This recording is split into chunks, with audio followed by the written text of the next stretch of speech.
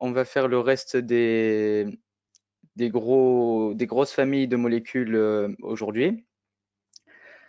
Alors, je vais, je vais faire euh, l'intégralité du cours parce que Myriam, qui devait présenter avec moi, a eu euh, un empêchement au dernier moment.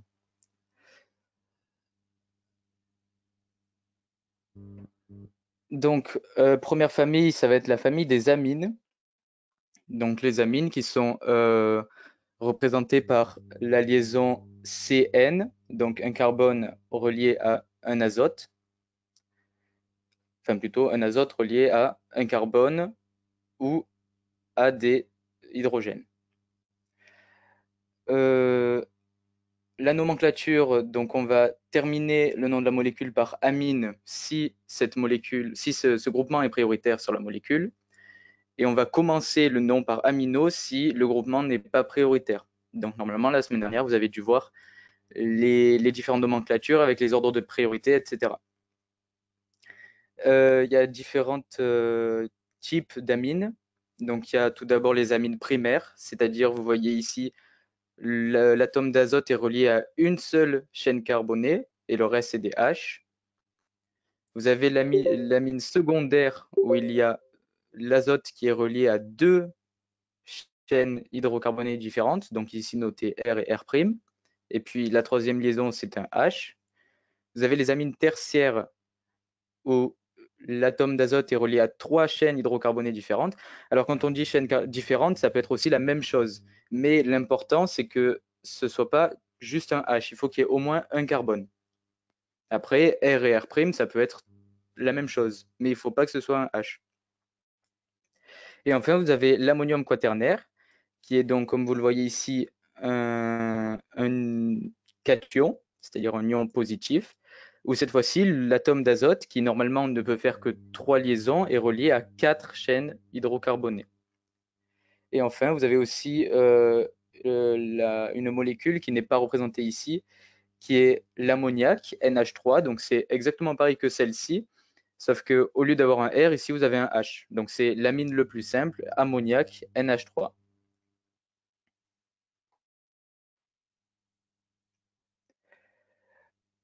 Euh, alors, comment se présente une, euh, liaison avec euh, un atome d'azote? Donc, vous allez voir ici, on a notre atome d'azote N. Et ce qui est important, c'est de voir ce doublé non liant ici ce doublé non liant, il va être à l'origine de beaucoup de choses. Donc, un doublé, je rappelle que c'est deux électrons qui ne sont pas censés faire de liaison. Et donc, ici, comme il y a beaucoup d'électrons, eh bien, ça va, ça va attirer les, les atomes qui, eux, ont besoin d'électrons. Ensuite, ici, euh, l'atome d'azote est assez électronégatif, donc il va polariser toutes ces liaisons autour, donc la liaison avec H, la liaison avec C, la liaison avec R. Un peu comme on avait vu la dernière fois avec l'oxygène dans la, fonction alcool, sauf que comme l'électronégativité de l'azote est inférieure à celle de l'oxygène, la polarisation sera moindre.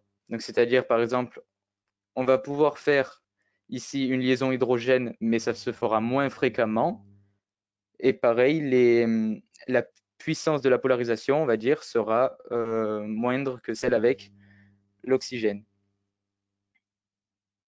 Mais sinon, vous avez la liaison CN qui est polarisée, la liaison NR, donc le reste de la chaîne qui sera polarisée, et la liaison NH aussi.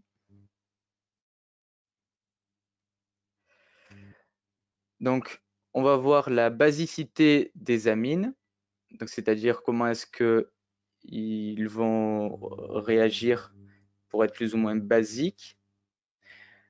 Donc vous voyez, si on met un amine, ici c'est un amine euh, primaire, mais ça peut être un amine quelconque, avec de l'eau, il va se transformer en ammonium quaternaire ici, vous voyez bien avec le petit plus, et il va y avoir ici OH, qui lui sera moins on respecte le, nombre d'électrons. Donc le H de H2O va passer sur notre amine ici.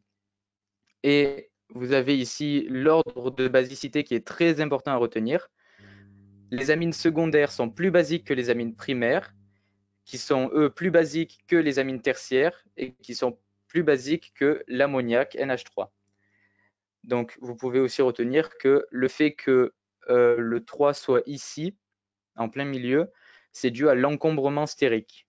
C'est-à-dire que comme euh, l'atome d'azote est relié à beaucoup de, chaînes différentes, pas que des H, euh, ça va faire qu'il sera beaucoup moins basique que le 2 et le 1.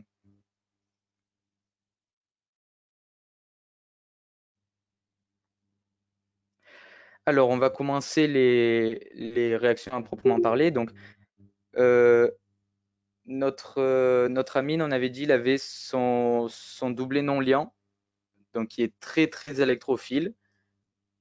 Enfin, il y a beaucoup d'électrons, donc comme il y a beaucoup d'électrons, ça va attirer ce qui a besoin d'électrons. Donc ça va attirer les espèces électrophiles. Ça s'appelle la nucléophilie de l'amine. Donc par exemple, on va avoir ici la réaction d'alkylation. Donc on commence avec une amine primaire. On va rajouter CH3I ici. Donc on va passer à un ammonium quaternaire ici avec le I. Donc vous voyez bien que ce CH3 ici va s'accrocher sur l'atome d'azote et donc ça va donner CH3 CH3 HH et le I qui reste qui sera important pour la suite. Et ensuite on rajoute encore un amine primaire ici CH3NH2 ce qui fait que CH3NH2 va attirer le H qui est en trop, celui-ci ou celui-là, et de fait va aussi attirer le I qui reste. Ce qui fait qu'à la fin, on va se retrouver avec le CH3 qui venait du CH3I au début, le CH3 de l'amine primaire de base, et un H. Donc ça donne ici un amine secondaire, et ensuite tout ce qui reste, donc CH3, NH2 ici, plus le H qu'il a volé sur celui-là, donc CH3, NH3, I. Donc vous voyez bien qu'on a besoin en premier lieu d'un amine primaire et ensuite, dans une deuxième étape, encore d'un amine primaire. Donc c'est pour ça que si jamais il y a de l'amine primaire en excès, c'est-à-dire plus que ce qu'il faut pour que la réaction soit à l'équilibre, eh bien on va avoir la formation d'amine secondaire. On continue toujours la réaction d'alkylation. Cette fois-ci, on a notre amine secondaire qu'on a obtenu précédemment. On va refaire la même étape. Donc on va rajouter CH3I. Le CH3 va se greffer sur l'atome d'azote. On va avoir CH3, CH3, CH3H avec notre I qui reste. On rajoute de l'amine primaire qui va venir récupérer le H en plus et ça va donner un amine tertiaire avec CH3, CH3, CH3. Et enfin, ce qui reste, CH3NH2 plus le H qu'il a récupéré, donc NH3 et le I. Donc ici, pareil, si jamais vous mettez de l'amine secondaire en excès, donc plus que ce qu'il faut pour que la réaction soit à l'équilibre, la réaction va s'arrêter à l'amine tertiaire. Parce que la réaction peut continuer. Une fois que vous avez de l'amine tertiaire, si jamais vous rajoutez encore une fois CH3I, eh bien, ça va être pareil que tout à l'heure, sauf qu'on s'arrête ici. voilà, on s'arrête ici. Il n'y a pas la deuxième étape de la réaction.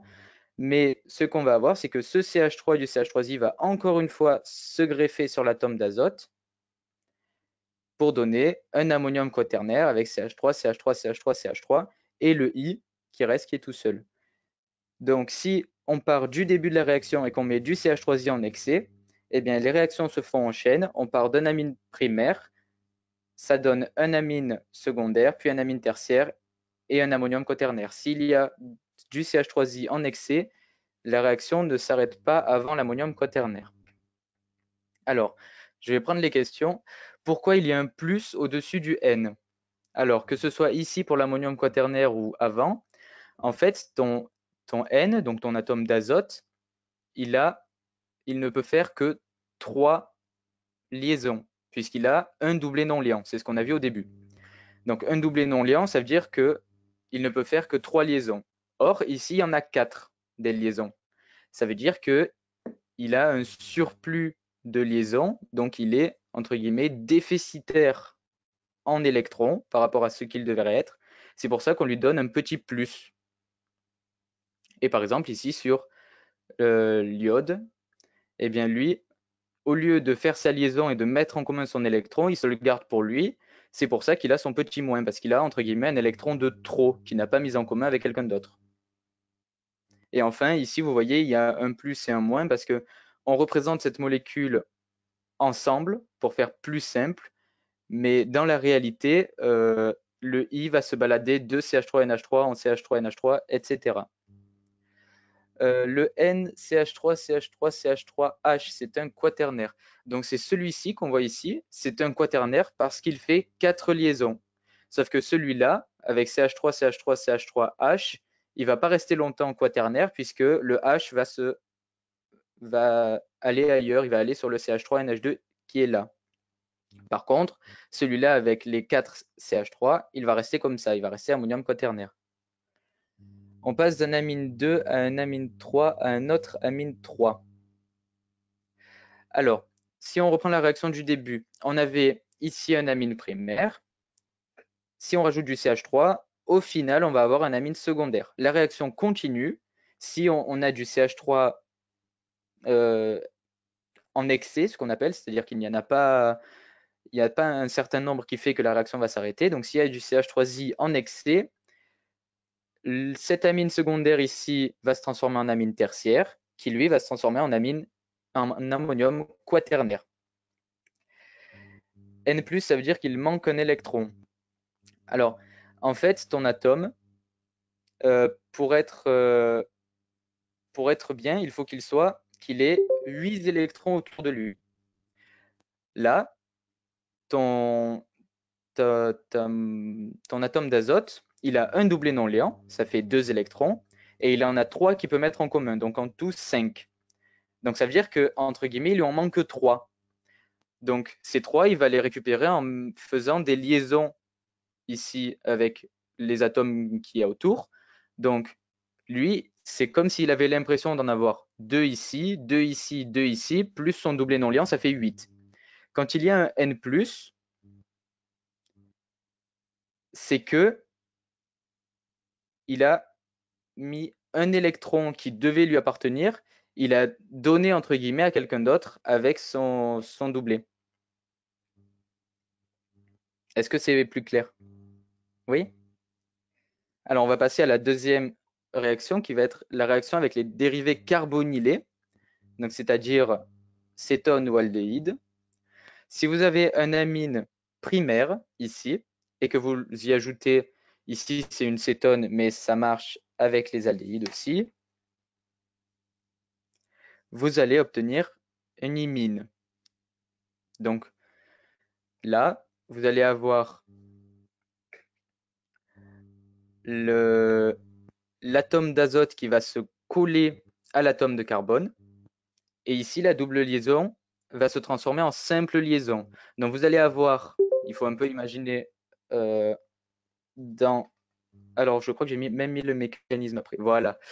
Donc, vous allez avoir l'atome d'azote qui va se coller au carbone ici. Et donc, comme le carbone ne peut faire que quatre liaisons, cette double liaison va se transformer en simple liaison. Du coup, notre atome d'azote qui d'habitude ne fait que trois liaisons, ici en a quatre, donc on lui met un petit plus. Et notre atome d'oxygène qui est censé en faire deux, il n'en fait qu'une, donc on lui met un petit moins. Et sinon, voilà, là, tout est relié. Le N est relié au C ici. Ensuite, l'atome d'oxygène, comme ça ne lui plaît pas d'être en moins, il va récupérer un oxygène, un hydrogène pardon, de l'atome d'azote, qui lui en a trop, vu qu'il est en plus. Donc, c'est un échange de bons procédés. Les deux atomes sont contents. Lui, il perd celui qu'il a en plus. Lui, il gagne celui qui lui manque.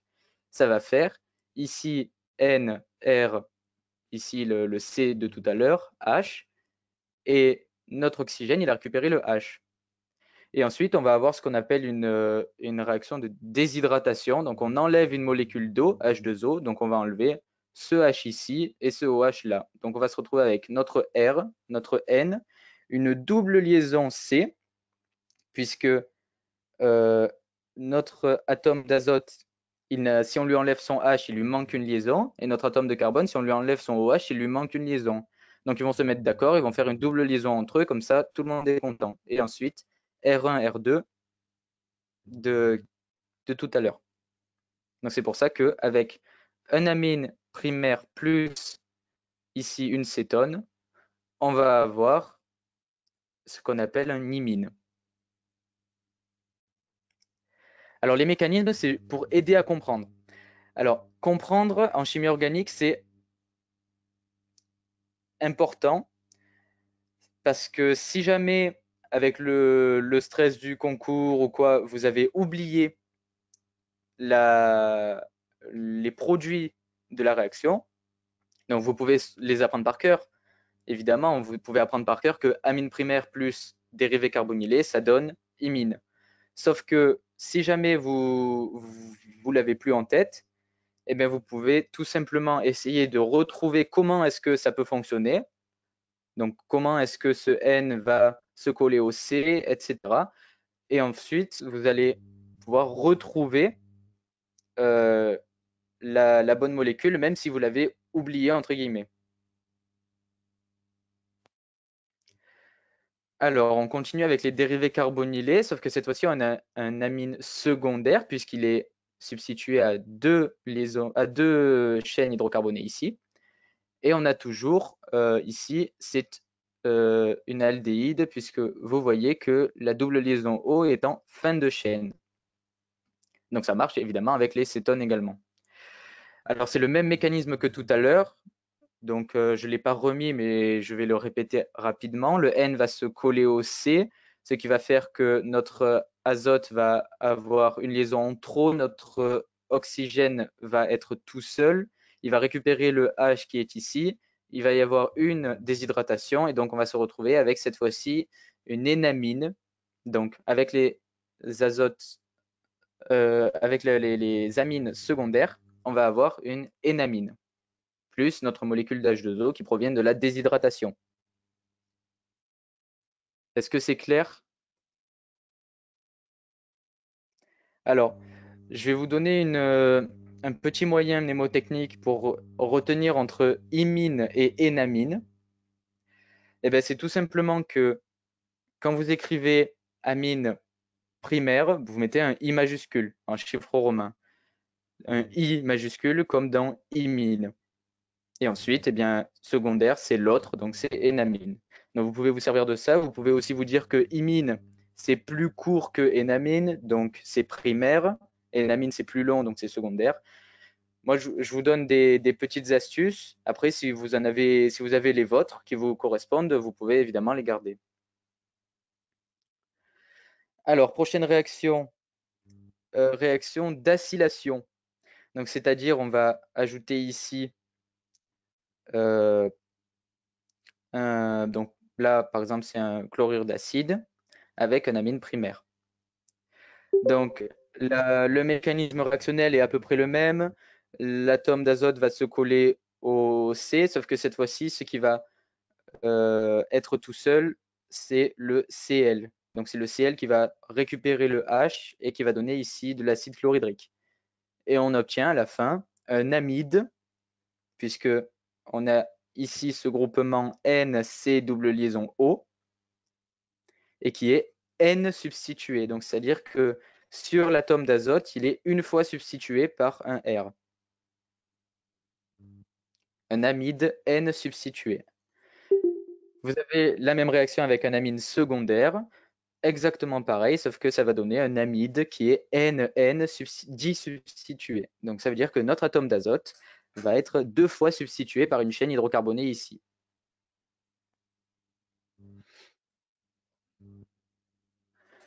On va avoir la réaction de sulfonation ici. Avec euh, toujours pareil, sauf qu'au lieu de se coller sur le C, ça va se coller sur ici l'atome de soufre. Sinon, le mécanisme est à peu près le même. Et on obtient à la fin un sulfamide. Donc, c'est-à-dire N, S et double liaison O, sulfamide. Donc ça marche avec les amines primaires, ça va marcher avec les amines secondaires. La seule différence, c'est que pour les amines secondaires, on va avoir deux fois substitué à R, et pour les amines primaires, on va avoir R d'un côté et H de l'autre. Sinon, c'est tout pareil.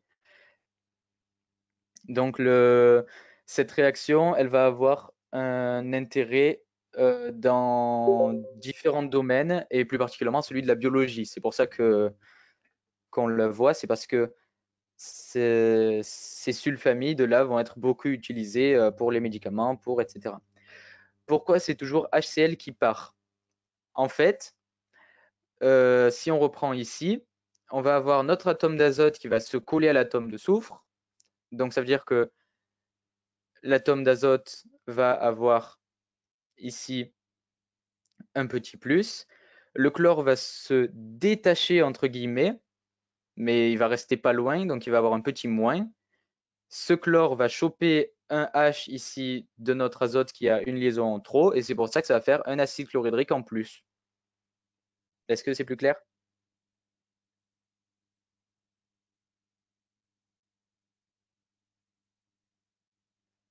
Alors, c'est vrai que les mécanismes réactionnels, ça peut être un peu flou au début, mais une fois qu'on a bien compris, eh ben, euh, on, se rend mieux compte pourquoi est-ce que telle molécule plus telle molécule, ça donne ça.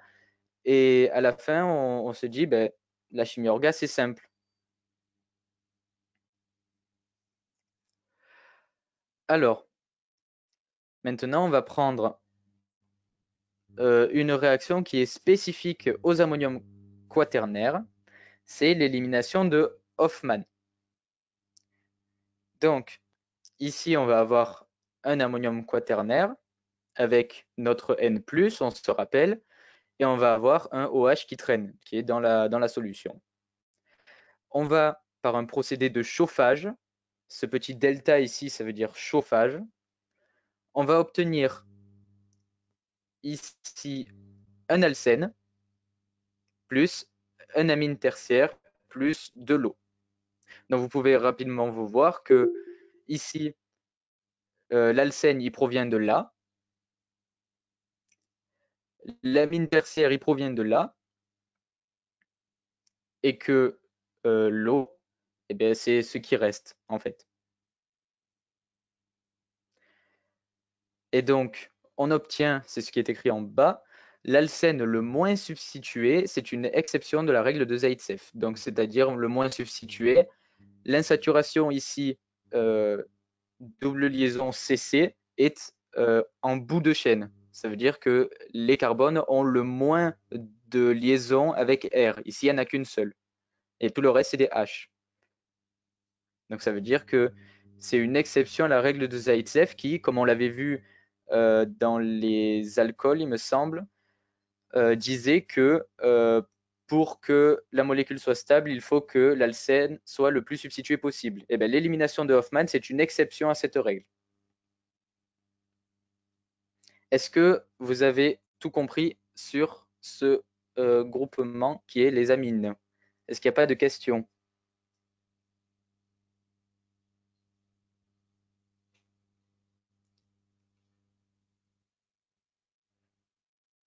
Alors, s'il n'y a pas de questions, on va passer à un petit QCM.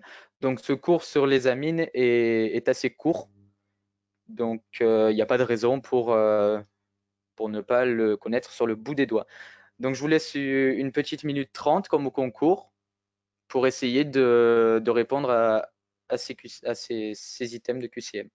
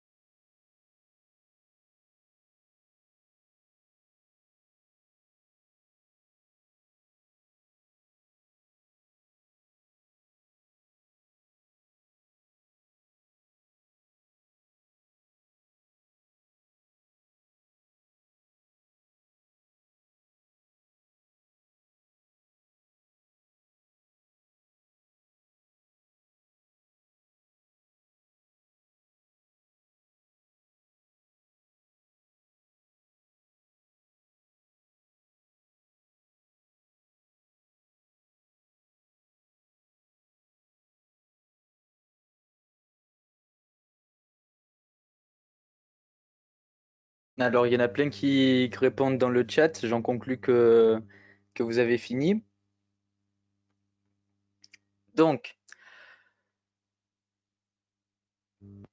vous avez ici la réaction complétée. Et on va répondre petit à petit aux items. Donc, A, le composé 1 est un ammonium quaternaire. Non, parce que comme il n'est pas précisé que CH3I est en excès, la réaction va s'arrêter à la première étape, donc c'est-à-dire l'amine secondaire.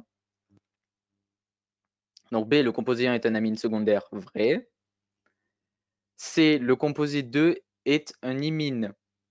Donc c'est faux. On se rappelle le, petit moyen mnémotechnique. Amine secondaire, c'est énamine. Ici, on a rajouté une, euh, une aldéhyde. Donc, énamine à la fin. D, lors de la première étape de cette réaction, un excès de CH3I conduit à la formation d'un ammonium quaternaire. C'est vrai. Sauf que, comme ce n'est pas précisé, eh bien, ce n'est pas le cas dans la réaction de départ. Et enfin, eux, les amines tertiaires sont plus basiques que les amines primaires. On se rappelle que non, à cause de euh, l'encombrement stérique, donc c'est-à-dire du fait qu'il y a beaucoup, beaucoup, beaucoup d'atomes autour de notre atome d'azote, eh bien ça augmente l'acidité et donc en fait ça diminue la basicité. Donc les amines tertiaires sont moins basiques que les amines primaires. Donc, je vous ai rajouté ici le rappel pour euh, l'ordre donc secondaire, puis primaire, puis tertiaire et enfin ammoniac NH3.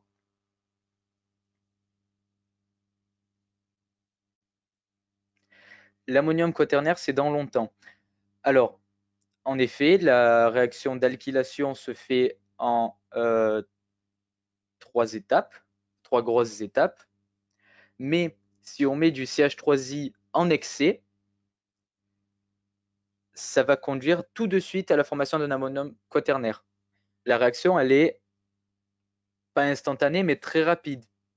Donc, c'est-à-dire que si jamais vous mettez trop de CH3I, eh ben, votre solution, elle est foutue. Si vous vouliez un amine secondaire, que vous avez mis trop de CH3I, il faut recommencer du début, parce que c'est directement passé en ammonium quaternaire.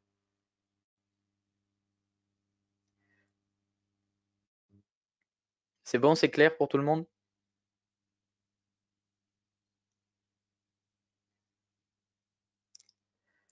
Alors, on va passer euh, ici au deuxième gros groupe de molécules. Donc, les aldéhydes et les cétones. Alors, notre groupement fonctionnel ici, ça va être la fonction carbonyle, c'est-à-dire double liaison O sur un atome de carbone. Donc c'est la même pour les aldéhydes et pour les cétones.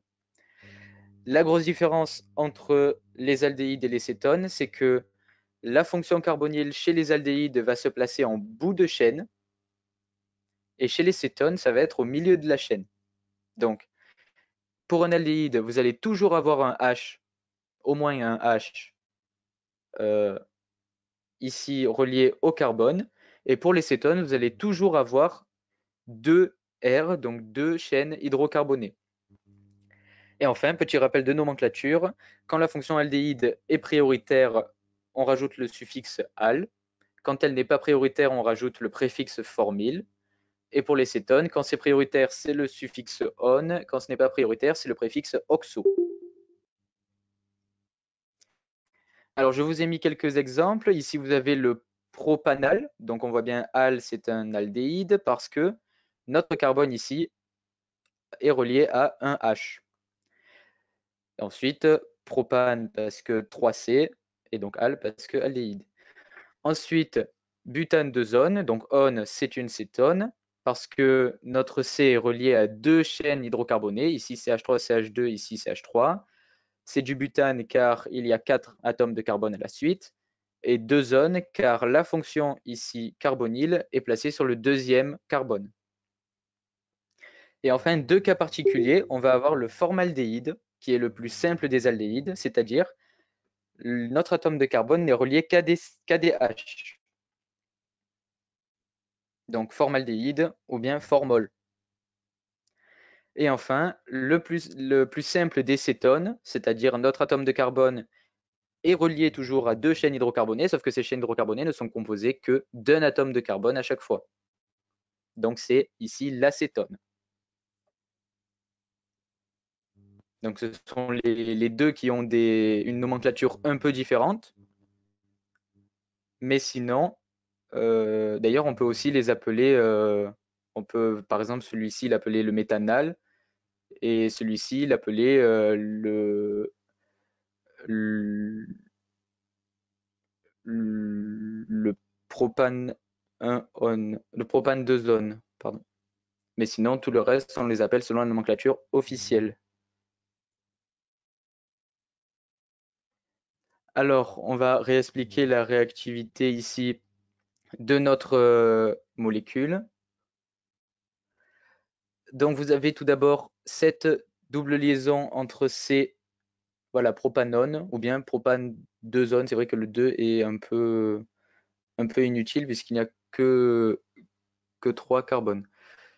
Donc ici, on va avoir la liaison C double liaison O, donc qui va avoir un effet mésomère ici. Le O va attirer les électrons de la double liaison vers lui ça va mettre l'atome de carbone entre guillemets en déficit et pour, pour euh, remédier à ça, il va attirer les électrons de l'atome de carbone à côté qui va attirer les électrons de tout ce qu'il trouve à côté de lui. Donc on a ici un effet mésomère et on va se rappeler qu'il va orienter ici les effets inductifs. Donc ce qui va conduire notamment ici à une, une liaison CH qui va être polarisée du fait de l'effet inductif et donc ce H va être très mobile. Il va pouvoir très facilement partir pour se mettre ailleurs dans la molécule, par, exemple.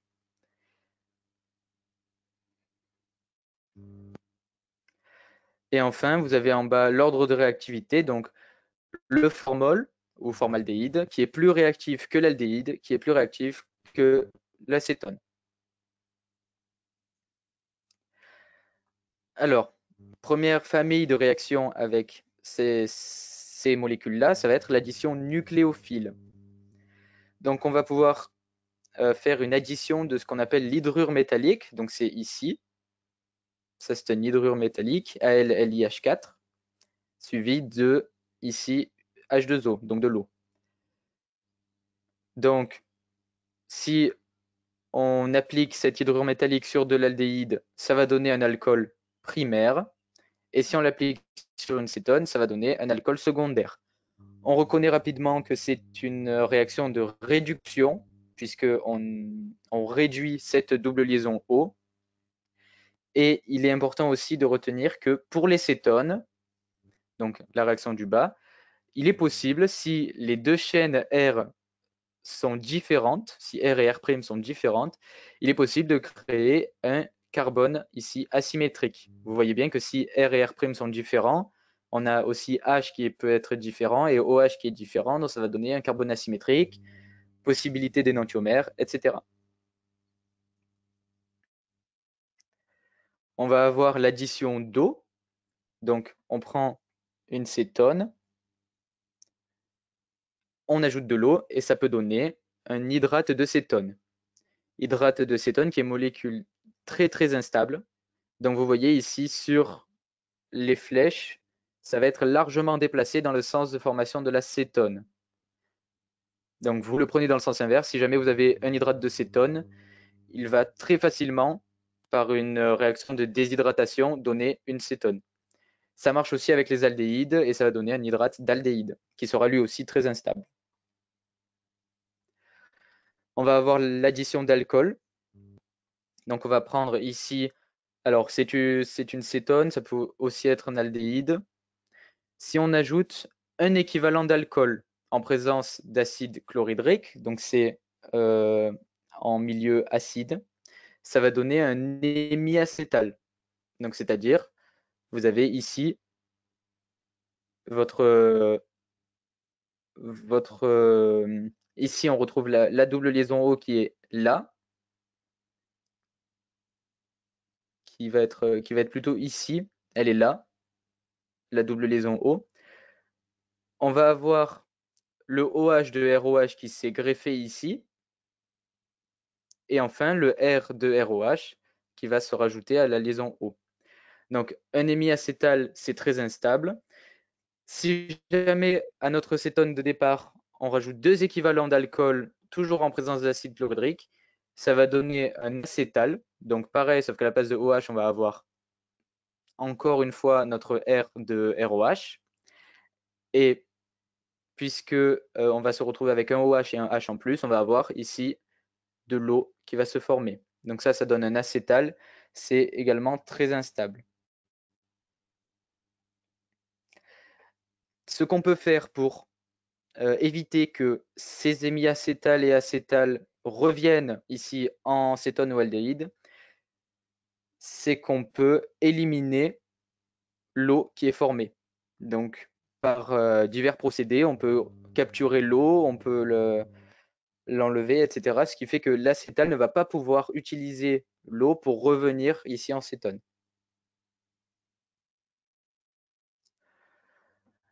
Alors ensuite, on va avoir une addition de thiol, donc qui fonctionne un peu pareil que tout à l'heure, sauf qu'au lieu d'avoir ROH, on a RSH, avec ici un atome de soufre. Toujours deux équivalents, ça va donner un thioacétal, qui cette fois-ci va être plus stable que l'acétal, puisque euh, l'électronégativité du soufre est inférieure à celle de l'oxygène. Donc comme les liaisons ici CS vont être moins polarisées que les liaisons CO, euh, les groupements SR vont avoir moins tendance à vouloir partir pour euh, redonner l'acétone. Ici, avec une addition d'acide cyanhydrique, c'est-à-dire HC triple liaison N, ça va donner, toujours par le même procédé, une cyanhydrine.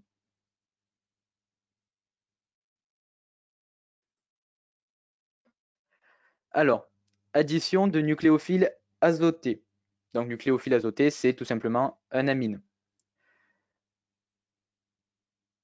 Donc si on ajoute amine plus ici euh, cétone ou aldéhyde, on va avoir ce composé ici qui présente notamment une double liaison CN avec une émission de H2O. Donc ici, l'exemple de l'ammoniac, c'est le même exemple que tout à l'heure. Donc, c'est-à-dire si on met de l'ammoniac NH3 en présence de cétone, ça va donner ici une imine. Donc, vous imaginez, si jamais c'est euh, euh, NRRH, ça va donner énamine, comme tout à l'heure. Donc ici, on a deux, deux exemples en plus. Si jamais on a une hydroxylamine, c'est-à-dire que le R ici, c'est un OH, ça va donner NOHHH. On va avoir ce qu'on appelle un oxyme. C'est-à-dire à la place du H ici de l'ammoniac, on va avoir un O2, un OH. Et enfin, en bas, si on ajoute un hydrazine, c'est-à-dire que R égale NH2, donc notre molécule c'est NH2NH2, on va avoir ce qu'on appelle un hydrazone. Alors c'est pareil, là, pour pas se mélanger, euh, il y a tout simplement euh, un petit moyen, c'est que bon, imine, on l'avait tout à l'heure, donc on peut se dire qu'avec un, amine simple, ça donne un imine. Hydroxylamine, eh bien, on a oxy dedans, donc ça va donner un oxyme, tout simplement. Et hydrazine, il y a hydrase qui va donner un hydrazone. Voilà, donc ça c'est pour éviter de mélanger entre oxyme, hydrazone, etc. Il faut bien savoir quand est-ce que, euh, quand on met tel composé au départ, on obtient tel composé à la fin. Alors, on va voir ce qu'on va appeler l'équilibre céto-énolique. Donc ça, ça va euh, servir pour ce qu'on appelle la mobilité des hydrogènes en alpha. Donc déjà, on va voir ce qu'est le carbone alpha. Donc ici, on va avoir notre fonction de base. On a le carbone de la fonction. Et le premier carbone qui suit ce carbone-là, ça va être le carbone alpha. Ensuite, etc. On continue en, grec, donc ça va être carbone bêta, carbone gamma, etc. Mais ici, on va s'intéresser au H qui se trouve ici sur le carbone alpha. Donc, l'équilibre céto-énolique, ou bien tautoméricétoénolique, c'est des synonymes, c'est quand on a au moins un H sur le carbone alpha, eh bien ce H va pouvoir tout simplement se déplacer ici pour venir se coller sur le O. Donc on va avoir ici une fonction OH.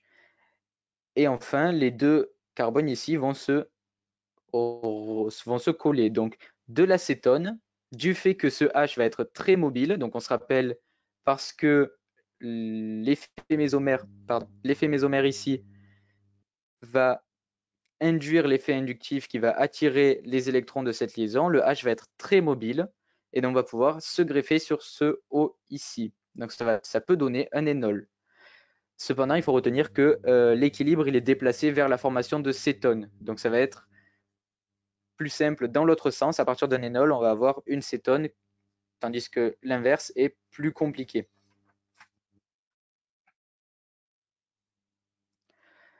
Alors, euh, première réaction du fait de cette mobilité du H ici, ça va être la réaction d'alkylation. Donc, si on ajoute dans un premier temps NaNH2 puis CH3Br, on va voir que euh, on va avoir Na et Br qui vont se rejoindre entre eux. Ça va donner ici NaBr.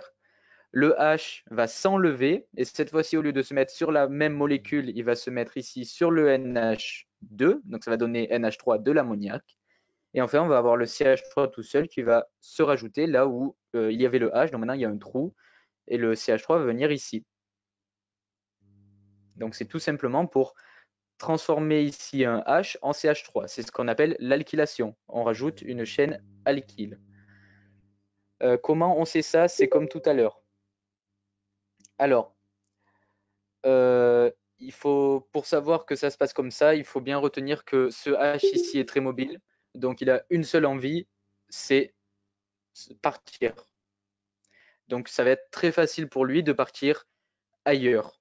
Sur la, sur la même molécule, c'est moins facile, c'est ce qu'on parlait avec l'équilibre euh, céto-énolique, mais pour partir ailleurs, ça va être assez facile. Et ensuite, il faut savoir aussi que euh, Na, ça va donner, quand on le sépare de sa molécule, ça va donner Na+, enfin Na2+. Ici, euh, Br, ça va donner du Br2-. Donc, euh, ils vont très facilement se coller entre eux, puisqu'ils sont, euh, entre guillemets, complémentaires. Et ensuite, le H, il va très facilement rejoindre ici l'atome d'azote à qui il manque un H. Et le CH3, à qui aussi il manque une liaison, va facilement se mettre à la place du H ici. Alors, il faut savoir que cette réaction d'alkylation, euh, ça correspond à une substitution nucléophile. Ensuite, on va voir aussi l'halogénation.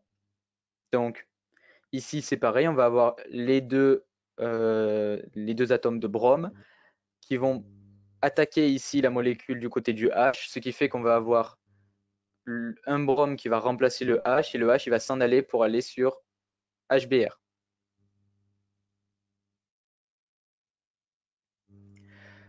Le H va au NH2 au lieu du Br en fonction de l'électronégativité. En fait, le, ici, le Br, il va être plus enclin à se coller au Na, puisque le Na lui aussi est un, est un ion très fort, tandis que le H, ça va être un ion plus faible. Donc le Na et le Br, quand ils sont ensemble, ils vont très souvent se coller entre eux avant que le H ait le temps de se coller au Br. Tandis qu'ici, comme il n'y a pas de Na, donc de sodium, eh bien le H va pouvoir ici venir sur le HBr. C'est bon? Voilà, donc cette, euh, cette halogénation, il faut euh, retenir qu'elle se fait en présence ici euh, d'ion H+, donc c'est-à-dire dans un milieu acide. Si vous essayez de le faire dans un milieu basique ou neutre, elle se fera pas ou elle se fera moins bien. Ensuite, les réactions d'aldolysation et de cétolysation. Donc l'aldolysation qui va marcher pour les aldéhydes, la cétolysation pour les cétones. C'est-à-dire que la molécule va se condenser sur elle-même. Et ça se fait en milieu basique. C'est pour ça que vous voyez ici un OH-, c'est pour indiquer que c'est en milieu basique. Donc il va réagir sur lui-même. C'est-à-dire que si on en prend un premier, on va avoir euh, ici, donc, on voit bien que là, ça reste à peu près le même. Mais le deuxième, on va avoir, comme tout à l'heure, le H qui va vouloir venir sur le OH. Ici, on a un H qui va passer euh, non, ce H va rester et le H de, du premier qui était CH3 va vouloir venir sur l'autre. Il va se, déplacer, entre guillemets, pour respecter les valences de chaque atome. Donc au final, on va avoir ici notre OH qui provient de la double liaison O, euh, notre CH3 qui ne bouge pas, ici le CH qui va avoir récupéré un H ailleurs, et ici, ça reste à peu près pareil. Donc ça, c'est pour les aldols. Et euh, c'est à peu près le même mécanisme pour les cétols. Sauf que au lieu d'avoir euh, ici CH, on va avoir encore un, CH3 et pareil ici. Est-ce que c'est clair, aldolisation, cétolisation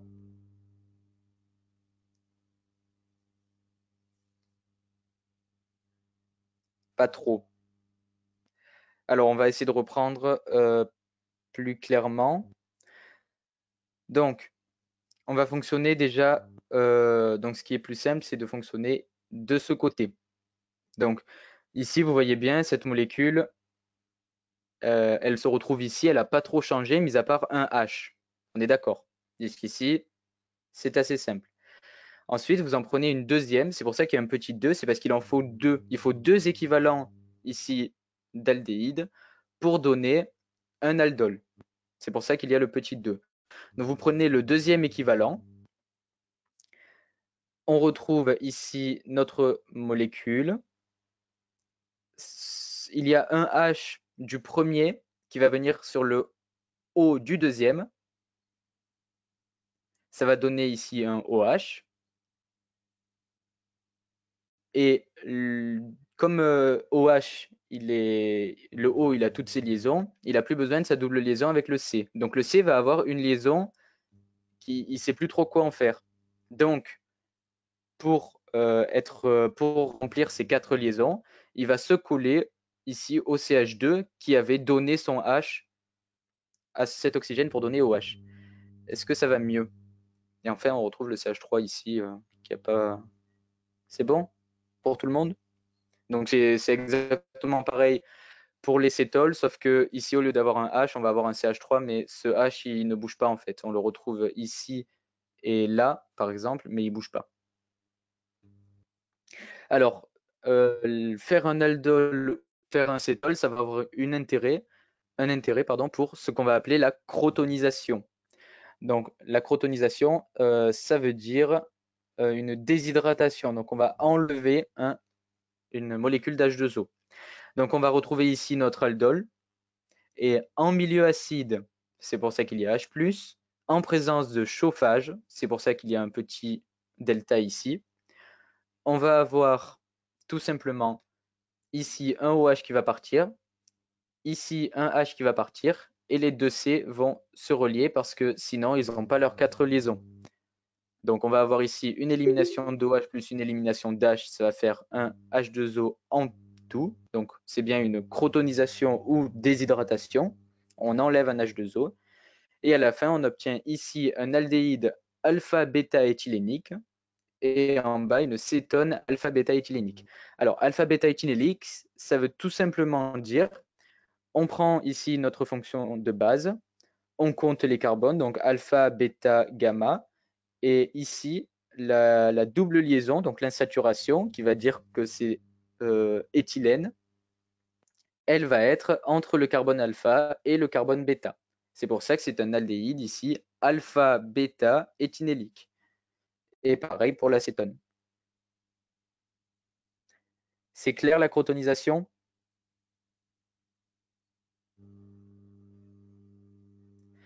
Alpha, bêta. Donc, euh, je réexplique.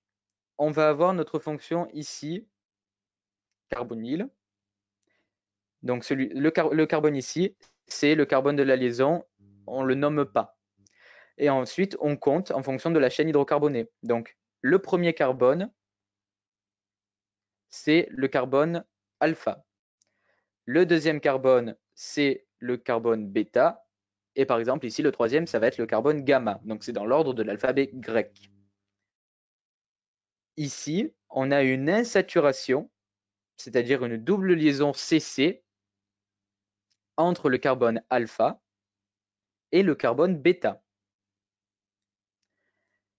Donc, comme c'est une double liaison, eh ben, c'est ce qu'on avait vu la dernière fois avec les, les alcanes, les alcènes, etc. Ça va être donc un aldéhyde qui va être alpha, bêta, et puisqu'il y a cette double liaison, on va l'appeler éthylénique. Ça va mieux? On compte pas le C de l'aldéhyde, non, parce que la fonction carbonyle de l'aldéhyde de l'acétone, c'est ça compte tout ça, ça compte ces doubles liaisons O. Donc ça, c'est la liaison, on n'y touche pas. Enfin, c'est la fonction, pardon, on n'y touche pas. Et ensuite, on compte alpha, bêta, gamma, s'il y en avait un quatrième, euh, etc. On continue dans l'ordre de l'alphabet grec. C'est bon? Alors, on va voir les réactions d'oxydation et de réduction pour les aldéhydes et les cétones. Alors, on va commencer par les aldéhydes et par l'oxydation. Donc, les aldéhydes, ils sont faciles à oxyder. Donc, on va utiliser des oxydants légers, comme par exemple K2CR2O7, ou bien ici KMNO4, le permanganate de potassium, mais dilué puisqu'ils sont faciles à diluer, on utilise un oxydant léger ou faible, c'est pour ça qu'il va être dilué. Et donc, oxydation, euh, grosso modo, vous devez retenir que oxydation, on ajoute un O. Donc ici, on passe de euh, double liaison O à euh, double liaison O plus OH. Donc on va avoir ici un acide carboxylique, ce qu'on verra tout à l'heure. Si on met du CuSO4, ce qu'on va appeler la liqueur de Felling, en présence de soude NaOH. On va avoir ici euh, ce groupement-là qu'on va voir tout à l'heure. Donc ça veut dire un carboxylate de sodium, plus cette molécule-là, qui est le Cu2O, et qui va faire un précipité rouge brique. Donc pour votre information, la liqueur de Feeling, elle est euh, utilisée par exemple quand on veut être sûr que la réaction a eu lieu. Donc on va mettre de la liqueur de Feeling et on sait que si la réaction a eu lieu, on va avoir dans notre euh, solution euh, un précipité, normalement vous avez dû le faire au lycée, qui avec la liqueur de Feeling sera rouge brique, donc rouge foncé. Pour les cétones, l'oxydation, donc les cétones, euh, vont être plus difficiles, voire très difficiles à oxyder. C'est pour ça qu'on va utiliser un oxydant fort. Donc soit on utilise toujours le permanganate de potassium, mais cette fois-ci concentré. Donc les deux crochets comme ça, ça veut dire concentré. Ou bien on peut utiliser du H2SO4 euh, chauffé, comme ceci. Donc, ce sont des oxydants forts. Ça veut dire qu'on va couper la molécule on va la couper ici, à ce niveau. Et on va rajouter des O un peu partout. Donc vous imaginez qu'ici, si on la coupe, on va rajouter OH, ça va donner 7 molécules, un acide carboxylique. Et là, on la coupe, on rajoute double liaison O, OH, ou l'inverse, OH double liaison O, comme ici, et ça va donner un autre acide carboxylique. Donc, quand on oxyde une cétone, ça va donner un mélange d'acide carboxylique. Le seul euh, cas où ce ne sera pas un mélange d'acide carboxylique, ce sera quand R et R' seront pareils. Vous, voyez bien que si les deux chaînes sont identiques, eh cette molécule va être identique à celle-là. Donc là, on va avoir un seul acide carboxylique. Mais vous devez retenir qu'en règle générale, on a un mélange d'acide carboxylique quand on oxyde une cétone. Euh, pour la réduction, donc on peut les réduire en alcool. Donc tout à l'heure, l'oxydation, il fallait retenir que on ajoutait un, O, on ajoute des O là où on peut. Plus l'oxydation est forte, plus on ajoute de O. La réduction, c'est l'inverse. Euh, quand on a une double liaison O, on va rajouter un H. Et si jamais on va, euh, comme normalement vous l'avez vu pour les alcools, si vous avez un OH et que vous voulez encore le réduire, eh bien on va carrément enlever la liaison OH, ça va donner un alcène. Bon, ça c'est un petit rappel du cours de la dernière fois. Euh, donc ça, si vous vous souvenez, c'est la même, c'est un peu la même réaction qu'au tout début. Donc si on a ALLIH4 et de l'eau, c'est exactement la même. il faut juste retenir qu'un autre réducteur, ça peut être du dihydrogène plus euh, du Ni ou bien du PT. Ça va donner pour un aldéhyde un alcool primaire, pour une cétone un alcool secondaire. Enfin, on peut les réduire en alcanes. Donc, il existe plusieurs méthodes. Ça va être la première méthode, ça va être la méthode acide, qui est celle de Clemensen. Donc, si on utilise ici une cétone, ça marche avec un aldéhyde, avec de l'acide chlorhydrique plus du zinc, ou bien ici du mercure, en chauffant, comme l'indique ce, delta, ça va donner un alcane. Donc là, c'est une, réduction qui est plus forte. Comme vous le voyez, on enlève carrément la, double liaison O. Il n'y a pas de on rajoute un H, c'est on enlève tout et on met des H2 à la place. Donc, méthode acide Clemensen, il existe la méthode basique qui est celle de Wolf-Kirchner, où cette fois-ci on utilise NH2NH2, de l'eau et ici de la potasse, KOH, toujours en chauffant et on va obtenir la même chose. Donc ça dépend si vous voulez que votre, euh, votre, euh, que votre solution soit plutôt basique ou plutôt acide. Alors là c'est pareil, il faut éviter de confondre entre Clemensen et Wolf-Kirchner. Euh, moi, ma, mm, mon moyen mnémotechnique, c'était que euh, Clemensen, ça fait zen, zen, comme ici, zen. Donc, quand vous voyez ZN, c'est Clemensen. Et normalement, vous voyez aussi HCl, donc vous savez, acide chlorhydrique, c'est plutôt acide. C'est même pas mal acide. Et enfin, Wolf-Kirchner, c'est l'autre. Donc, si vous voyez ZN, c'est Clemensen. Ça, c'était mon moyen mnémotechnique. Si vous en avez un autre, euh, voilà, comme par exemple, Clemensen, c'est comme les clémentines, c'est acide. On peut voir ça comme ça aussi. Mais il faut retenir, il faut réussir à savoir laquelle de celle-ci ou celle-là sera la acide. C'est important aussi. Alors, dernière, euh, dernière réaction d'oxydoréduction pour ces familles de molécules, ça va être la réaction de Cannizzaro qui marche pour les cétones non énolisables. Donc, si vous vous souvenez, une cétone énolisable, c'était quand il y avait un H mobile sur le carbone alpha. Donc ici, vous avez cette euh, molécule qui est le benzaldéhyde, donc avec ici un noyau benzène plus la, fonction aldéhyde. On a le carbone de la fonction, le carbone alpha, il est là. Sauf que ce carbone alpha, il va être relié à un carbone, ici à un carbone, et là par une double liaison à un carbone. Donc vous voyez qu'il euh, n'y a pas de H sur le carbone alpha, donc il n'y a pas de H mobile. C'est pour ça qu'on va pouvoir faire la réaction de Cannizzaro. Donc ici, en présence de potasse chauffé plus euh, d'eau et en milieu acide, on va avoir un mélange d'acide benzoïque, c'est-à-dire euh, c'est comme un acide carboxylique mais avec un noyau benzène, plus un alcool benzylique, donc comme un alcool, mais avec un noyau benzène. Donc, pour ça, il faut deux équivalents de benzaldéhyde pour avoir un mélange d'acide benzoïque et d'alcool euh, benzylique. Donc ça ne marche que pour les cétones non énolisables, je le rappelle, donc c'est-à-dire qu'ils n'ont pas de H mobile sur le carbone alpha. Est-ce que vous avez des questions sur euh, ce cours euh, aldéhyde cétone? Avant qu'on passe au QCM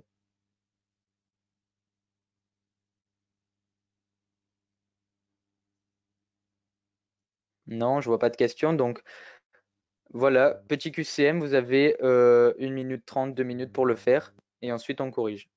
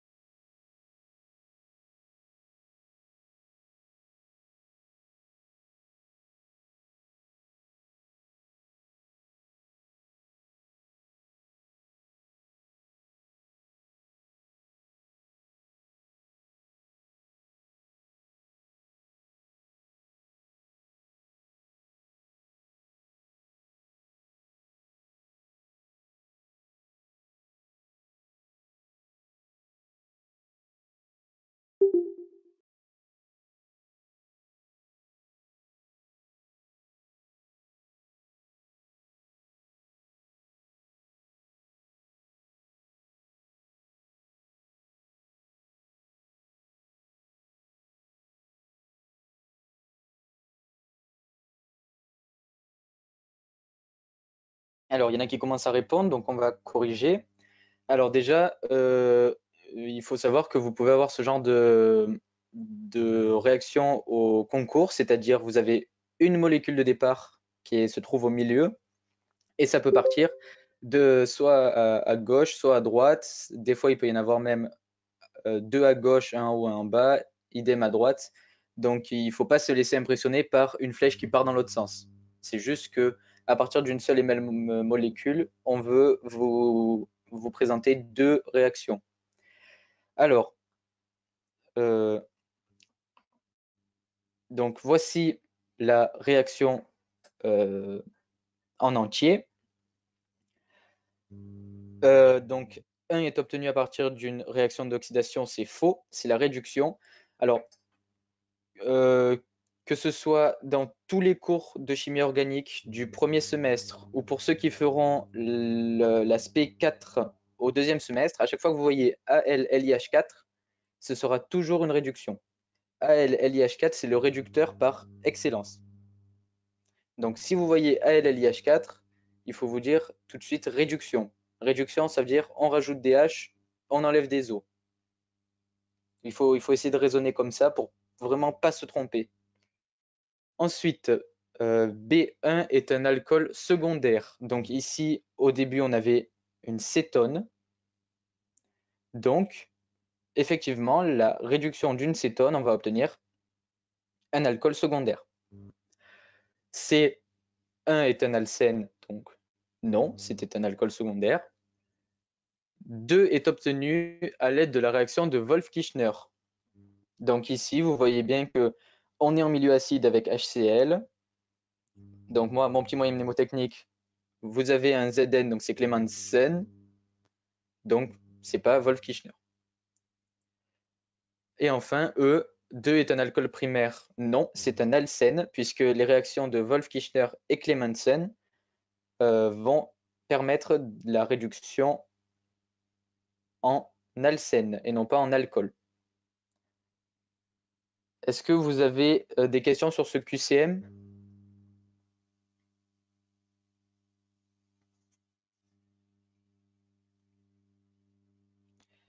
C'est pas un al...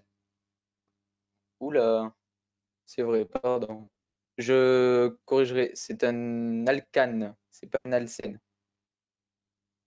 Petite coquille, je vais le corriger de suite, comme ça vous l'aurez dans le, sur le forum, vous l'aurez en version corrigée. S'il n'y a pas d'autres questions, on va passer à la suite.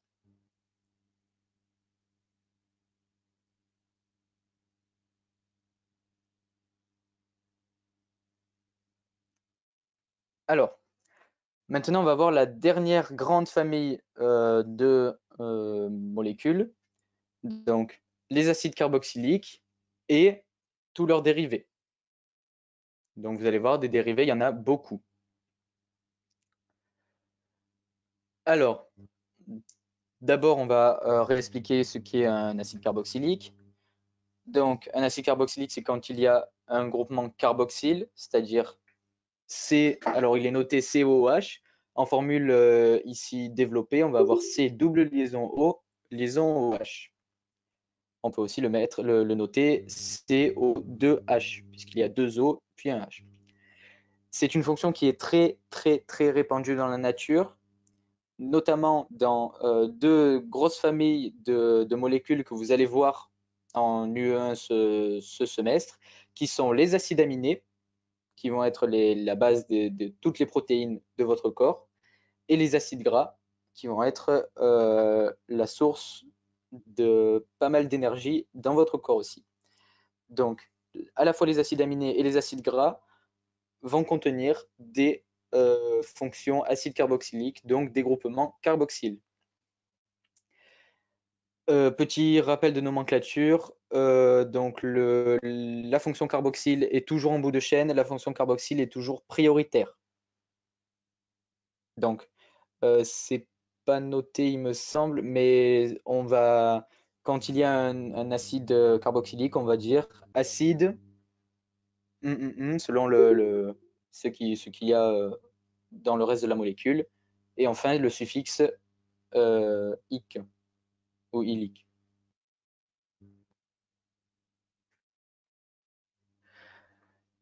Alors, euh, votre acide carboxylique va être très très euh, donneur de liaison hydrogène. Donc encore plus que les alcools.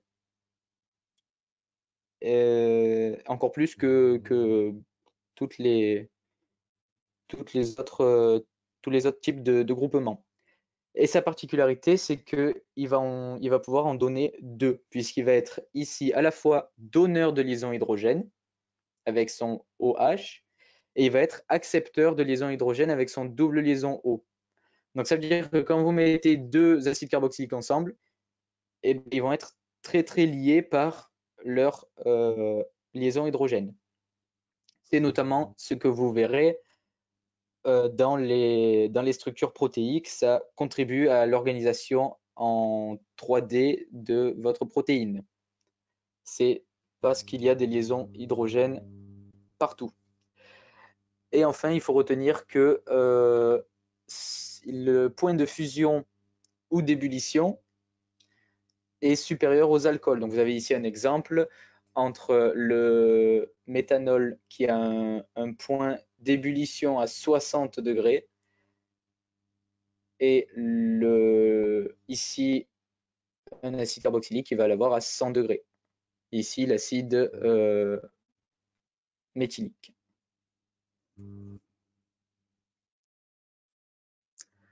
Alors, la réactivité,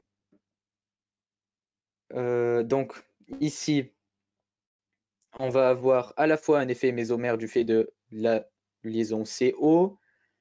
On va avoir les doublés ici d'électrons, doublés non liants de O qui vont être très attracteurs, par exemple, de liaison hydrogène.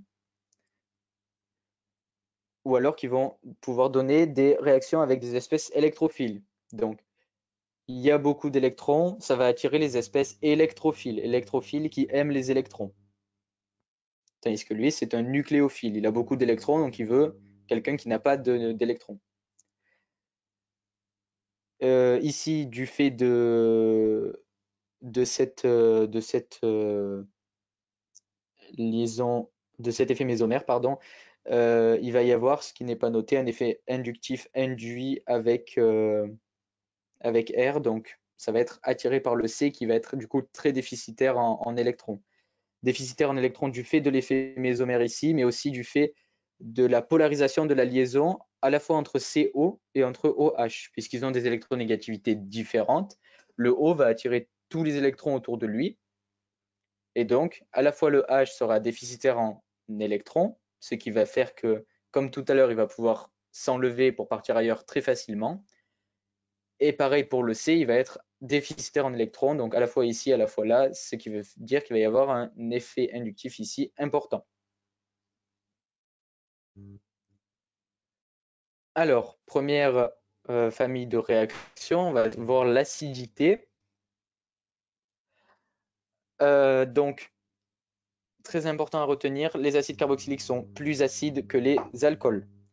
Alors, ça paraît un peu bête dit comme ça, les acides sont plus acides, mais euh, on évite de tomber dans le piège euh, en QCM avec le stress, on n'a pas le temps, on lit la question trop vite, on se trompe. Donc les acides carboxyliques sont plus acides que les alcools. Euh, ici, c'est ce que je vous disais, on va avoir la liaison OH qui est polarisée, donc le H va avoir tendance à partir. Comme il, va partir, il va pouvoir très facilement euh, aller sur une autre molécule, s'échanger avec autre chose, etc. Ici, on retrouve euh, les effets inductifs induits que je vous disais, donc à la fois ici, ici, et là, bon, il y en a, il y en a un deuxième avec l'atome de chlore. Donc on vous donne aussi les, donc c'est pareil là et là, on vous donne les pKa, donc c'est pour vous, pour vous donner une ordre d'idée que grosso modo, plus il y a de,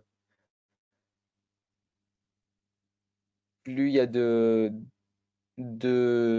carbone dans la chaîne hydrocarbonée, plus c'est ici basique. On voit bien que 4.9, c'est plus haut que 4.7. L'exception ici, c'est parce qu'il y a un atome de chlore qui augmente l'acidité. Et enfin, on va avoir donc une grosse réaction du fait de cette séparation entre O et H, c'est la formation de carboxylate. Donc vous voyez en bas, vous avez un acide carboxylique. Si on rajoute de la soude NaOH, vous allez avoir le H qui va être attiré par OH et le Na qui va être attiré par O. Donc on va avoir ici un carboxylate de sodium avec une euh, libération d'une molécule d'eau. Alors, autre réaction, l'estérification. Donc c'est-à-dire vous allez mettre ensemble un acide carboxylique avec un alcool. Vous allez avoir ici un ester avec à la place du H, qui, je le rappelle, est très mobile, c'est très important, vous allez avoir le R ici, le H va être attiré par le OH, on va encore avoir libération de molécules d'eau. Cette réaction, elle est réversible, donc si jamais vous avez un ester que vous lui rajoutez de l'eau, il pourra donner un acide, euh, un acide carboxylique et un alcool. Très important à retenir, c'est le rendement. Donc avec un alcool primaire, on va avoir un rendement de 66%. Avec un alcool secondaire, un rendement de 60%. Et avec un alcool tertiaire, ça va être un rendement de 5%. Donc, sur le rendement, je vous rappelle, euh, le chercheur qui va vouloir, par exemple, créer un médicament euh, et qui va vouloir euh, faire le plus de, profit, le rendement de 5%, ça ne l'intéresse pas trop, parce que ça veut dire qu'il a 95% de son, mélange qui est à jeter. Donc, le rendement, euh, l'objectif, c'est d'atteindre les 100%. Ce n'est pas toujours possible, mais c'est l'objectif.